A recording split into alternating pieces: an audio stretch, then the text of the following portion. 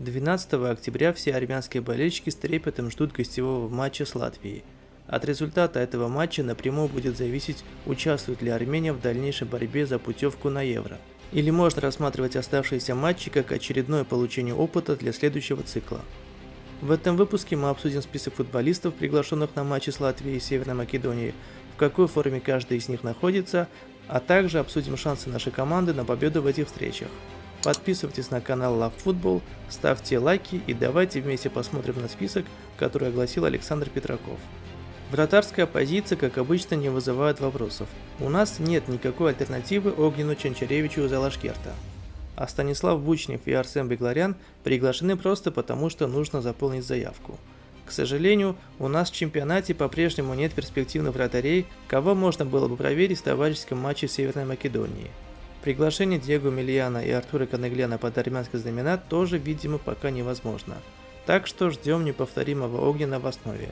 В защите после дисквалификации вернулся наш капитан Вараздат Харуян. В последнее время он начал чаще выходить в основе Астаны. А Камох Ванесян и вовсе незаменимый футболист в основе казахстанской команды.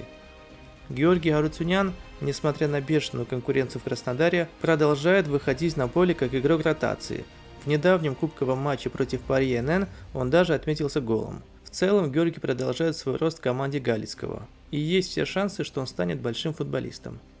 А вот Степа Макарчан, видимо, в матче против Хорватии не слишком впечатлил своих клубных тренеров в Осиеке. По крайней мере, после этого он уже третий матч подряд остается в запасе.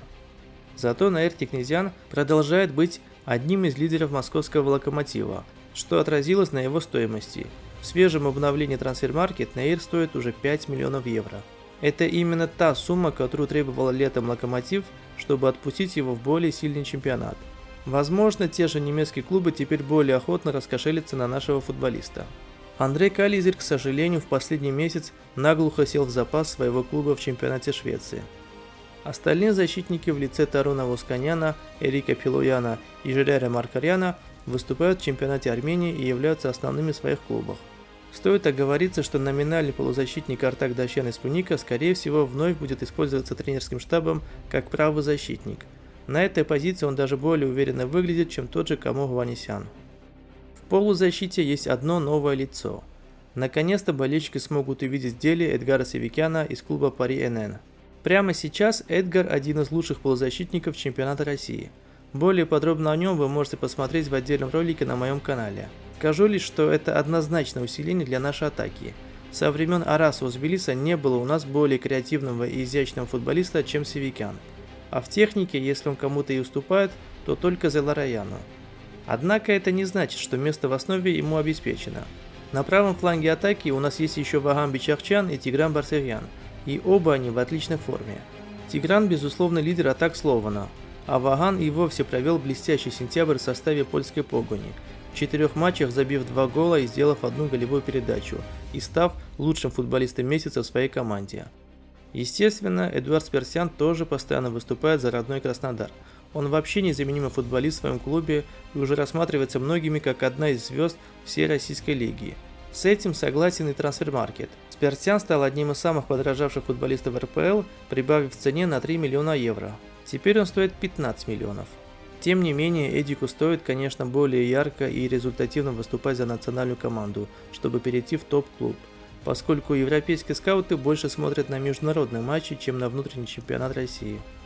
Угочук Вуива, кстати, тоже немножко прибавил в цене, теперь стоит 700 тысяч евро. Он тоже твердый футболист основы в казанском Рубине, однако не покидает ощущение, что наш нигерийский армянин достоин большего, чем выступление в составе аутсайдера РПЛ – с учетом того, как классно он себя показывает в матчах за сборную Армении, можно надеяться на переход в более сильный клуб в конце сезона.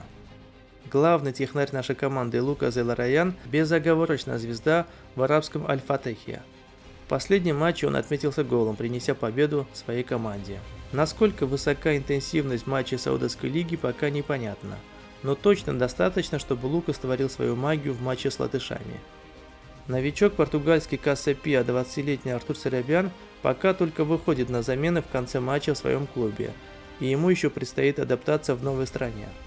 Безусловно, Артур очень перспективный футболист, и армянские болельщики связывают с ним большие надежды. Но пока он больше опция для усиления атаки через выходы на замену в конце матча. На Гованесе Гаруцуняна и Вбей Мариангулу отдельный акцент делать не буду. Оба футболиста являются основными в своих клубах и хорошо выступают в чемпионате Армении. Намного интереснее, что в заявке у нас номинально только два чистых нападающих – Ранд Ранус и Норберто Балекян. К сожалению, оба не имеют постоянной игровой практики в своих клубах. Ранус в последнее время перестал даже на замены выходить в Бундеслиге, больше выступая за команду до 23 лет Боруссии из Мюхенгладбаха. Балекян за последний месяц вышел всего в одной игре за основную команду Бока Хуниорс, и то всего на 20 минут, зато успел отметиться голевой передачей. Прикидывая ориентировочный состав, я думаю, больших сюрпризов от тренерского штаба в матче с Латвией ждать не стоит. Вратарем, естественно, будет Ченчаревич. На правом фланге Дащан, на левом Тикнезян. В центре знакомое всем трио Гаруцюнян, Гаруян, Магарчан. В полузащите в центре Иву и Сперсян. На левом фланге Зелараян. А вот на правом фланге есть небольшая интрига. Рискнет ли Петраков поставить Севикяна в основу? Я думаю, что Александр Васильевич предпочтет довериться тем, чьи способности он лучше знает, и поставит в основу Барсегьяна, а Севикян выйдет вместо него на замену.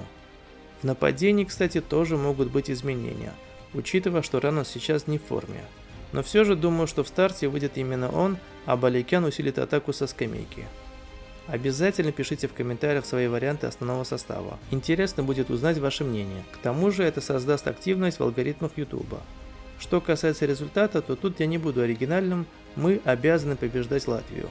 Знаю, есть болельщики, которые не любят слово «обязаны». Дескать, те же латыши только на 95-й минуте в матче с Турцией упустили ничью, причем находясь в меньшинстве.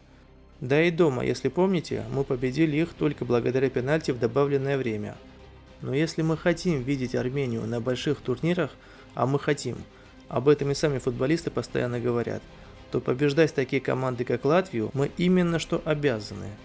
Лично я считаю, что мы победим со счетом 3-1. Согласны или нет, пишите об этом в комментариях. После матча посмотрим, кто из нас угадал. На этом у меня все. Пожелаем удачи нашим футболистам, а вас попрошу не забыть отблагодарить меня лайками и подписками. С вас не убудет – а видео благодаря вашим лайкам и активности в комментариях будет предложено алгоритмами YouTube большему количеству людей. Также вы можете помочь развитию канала любой суммой, отправленной на номер карты, указанной на видео и в описании к нему. Как всегда, увидимся после матча.